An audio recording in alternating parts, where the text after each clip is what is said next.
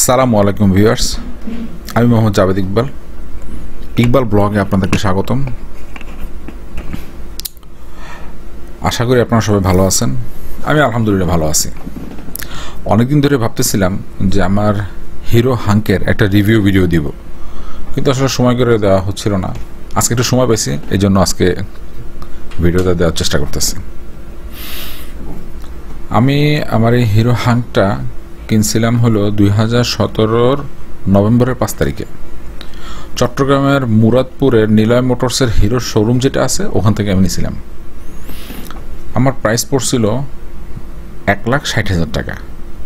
আর কাগজের জন্য লাগছিল চোদ্দ হাজার পাঁচশো টাকা। টোটাল আমার খরচ হয়েছে এক লাখ চুয়াত্তর হাজার পাঁচশো টাকা। আমার বাইকটার কালারটা হলো ম্যাপেল ব্রাউন আমি যদি আপনাকে হিরো হাং সম্বন্ধে একটা বেসিক ধারণা দিতে চাই, তাহলে বলতে হবে, হিরো হাঙ্ক হলো ইন্ডিয়ার হিরো কোম্পানির একশো পঞ্চাশ সিসির একটা মোটরসাইকেল। এই মোটরসাইকেলের পাঁচটা গিয়ার আছে। হাঙ্কের পাঁচটা গিয়ার আছে। এরপরে এর যে ট্যাঙ্কি আছে, ফুয়েল ট্যাঙ্কি, এই ট্যাঙ্কিতে আপনার পনেরো লিটারের বেশি পেট্রোল বা অকটেন ধরে। এর যে দুইটা সামনে বা এবং পিছনের চাকায় যে টায়ার ইউজ করছে, সেটা হলো এমআরএফ এর টিউবলেস টায়ার। এর সামনে পিছনে যে ব্রেক আছে, সেটাতে ডিস্ক ব্রেক ইউজ করা হয়েছে। সামনেও ডিস্ক ব্রেক পিছনেও ডিস্ক ব্রেক বাইকটার ওজন হলো একশো ছেচল্লিশ কেজি প্লাস এর যে ইঞ্জিন অয়েল আছে, মোবিল, এই বাইকটাতে এক লিটার মোবিল লাগে। মাইলেজের কথা যদি বলি, তাহলে সিটিতে তিরিশ থেকে পঁয়ত্রিশ কিলোমিটার যায় পার লিটারে, আর হাইওয়েতে যদি চালানো হয়, তাহলে পঁয়ত্রিশ থেকে চল্লিশ কিলোমিটার যায় পার লিটারে। টপ স্পিডের কথা যদি বলি, আমার এই বাইকে আমি এই পর্যন্ত হায়েস্ট একশো ছয় কিলোমিটার পার আওয়ার তুলতে পারছিলাম। তাও কি ঢাকা চট্টগ্রাম রোডে বারাউলিয়া থেকে আসার সময়। এমনি আরও তোলা যাইতো, কিন্তু ওরকম পরিস্থিতি পাই নাই, গাড়ি চলে আসছিল বা ফাঁকা পাই নাই এই জন্য তুলতে পারি নাই।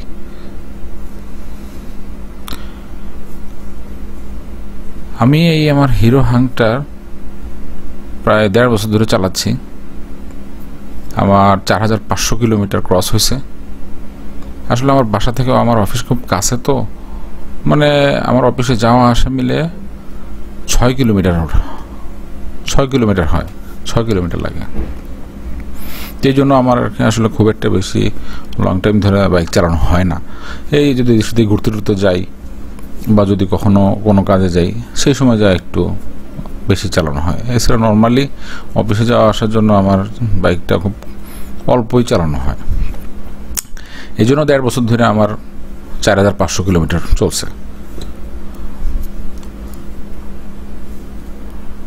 তো এই যে চার হাজার পাঁচশো কিলোমিটার চালাতে যে আমার যে অভিজ্ঞতাটা হয়েছে, সেটা জাস্ট আপনাদের সাথে একটু শেয়ার করতে চাচ্ছি আর কি।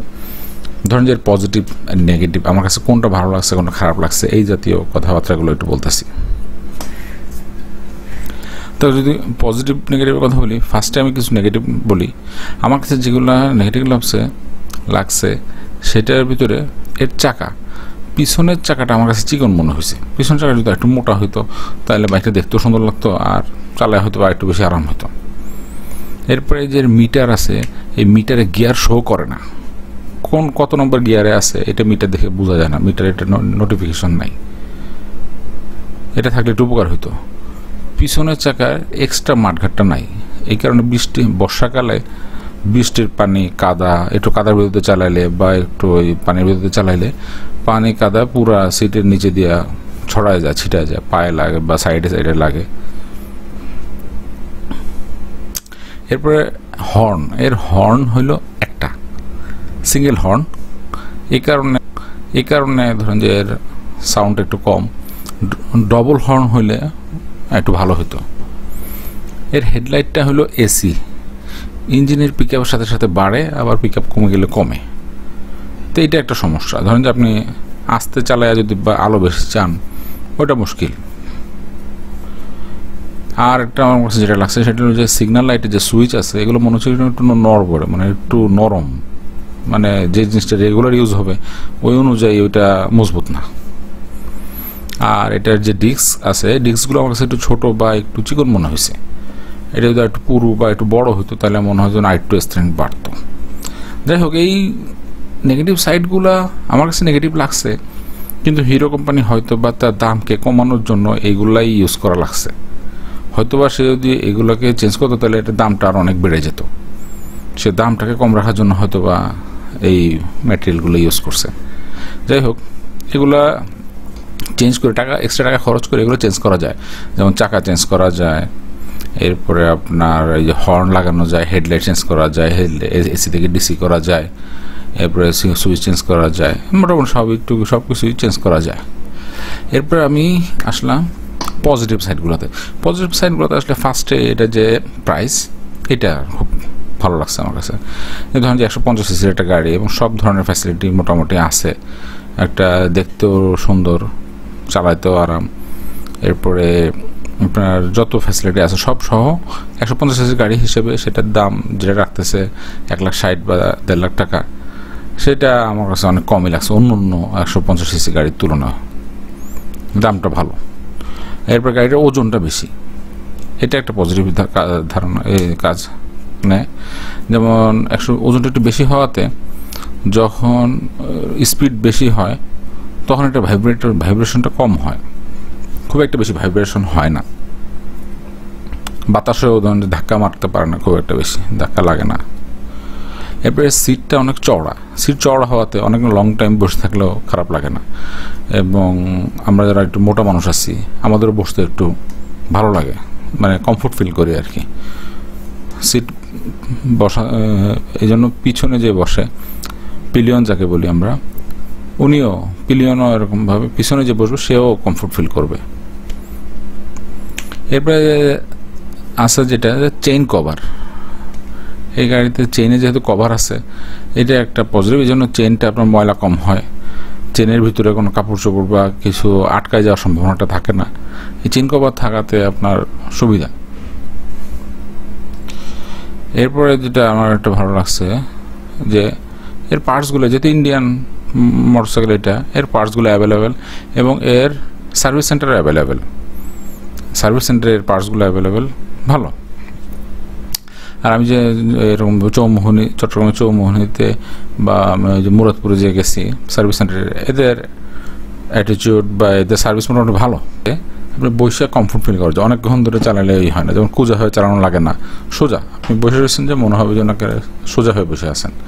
মানে স্পেশালভাবে যে আপনি একটা আজাবের ভিতরে আছেন বা আপনি যে গাড়ি চালানোর যে কষ্ট, ওই কষ্টটা কম ফিল হয় না। ভালো লাগে। বসলে কমফোর্ট ফিল হয়। এটা হলো সবচেয়ে বড় কথা।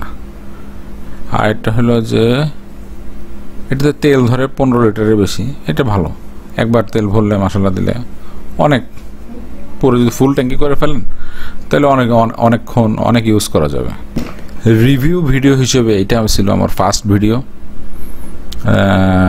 জানি না আপনাদের কাছে কেমন লাগছে। আর যদি কোনো ভুল ত্রুটি হয়ে থাকে, তাহলে কমেন্টে একটু জানাবেন। তাহলে আমি পরবর্তী ভিডিওতে ইনশাল্লাহ এটা শুধরে নিব। আর যদি আমার এই ভিডিওটা আপনাদের একটু হলেও ভালো লাগে, তাহলে একটা লাইক দিবেন। আর যদি ভবিষ্যতে আমার ভিডিওটি দেখতে মনে চায়, তাহলে একটু সাবস্ক্রাইব করবেন। এই আর কি। তাহলে আজকে এ পর্যন্ত।